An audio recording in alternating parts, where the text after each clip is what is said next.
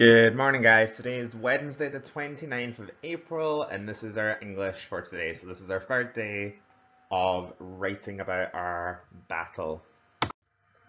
Okay, so what you're going to need, just the same as it's been for the last few days, paper, if you're still using your orange book, just carry on taking your page, a pencil, and if you want to take part in the challenge, you need your art supplies. So to start off, Write down today's date at the top of your page or the top of the piece of paper and if you've got a ruler then underline it. If you don't have a ruler, don't worry about it.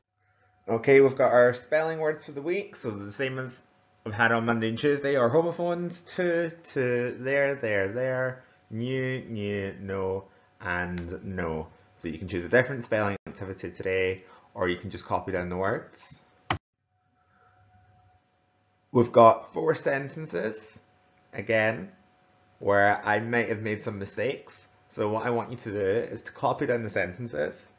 And if I've used the wrong homophone, change it. If I've used the correct homophone, keep it in.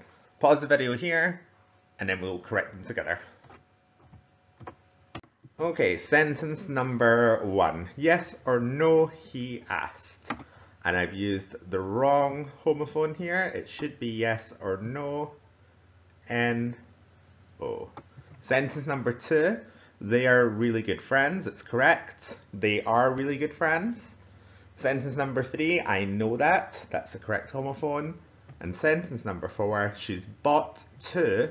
That's the incorrect homophone. It should be two for the number two. T, W, O. Okay, for spelling, punctuation and grammar, we're still using commas in the list, but our activity is a little bit different today. I've wrote three sentences with a lot of extra ands, and I want you to fix the sentences for me. Take out the extra ands and use commas. Sentence one, the packet contained red and blue and green and yellow felt tips. Number two, at the top of the league were Birmingham and Manchester United and Crewe and Aston Villa and Walsall Town. Number three, violins and recorders and drums and guitars were all set out in the music room. So there's far too many ands in those sentences, it's unnecessary. Get rid of them by using commas. Pause the video here and then we will correct it together. Okay, having a look at the first one, the packet contained red and blue and green and yellow felt tips. We need an and for green and yellow, the other two we can get rid of. Put a comma after red and a comma after blue. Number two, we need to keep the last and.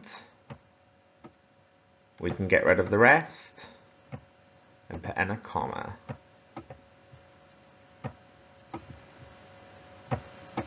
And number three, again, we keep our and between drums and guitars, but we can get rid of the extra ands.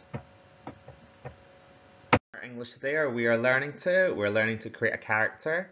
Um, we're staying with the battle scene, so if you look below in the description for the video, the link is there. If you want to watch it again, pause this video, go and watch the battle scene again. It's the same one we've watched, but this time have a look at the characters that are in the battle scene. Who do you see? What type of creatures? Those are the questions I want you to think about. Okay, we're going to create a character that's in our battle. Now, when you think about a character, there's two main focuses. You have appearance and personality. And the best way to remember which one is which is appearance is the outside. What do they look like? Personality is on the inside. What are they like? So your task for today is I want you to divide your page into two. Have one heading as appearance, one heading as personality, and unfortunately the photo's been cropped, but I want you to come up with five bullet points that match your character. Now, I've created an evil, cruel, bloodthirsty character, so I wanted to make them look quite scary. So I've included some fangs and claws, but then I've gave you more detail, the yellow claws, sharp claws. You can create an evil character, just like I have, and use my ideas, or you can come up with a totally new evil character or a totally new good character. They do not have to be human because our story is non-fiction, so you can be as creative as you want. When you finish this task, make sure that you take evidence, either a photo or you've typed up your work, and send it to me on Class Dojo. When you're finished, if you want to do the challenge, I want you to recreate your character but add them into the battle. So are they fighting someone else? Are they about to go in for the killing blow?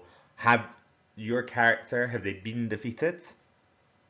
Which side of the army are they on? Are they charging into battle? If you choose to do the challenge, make sure that you send me evidence of your work. Well done, guys.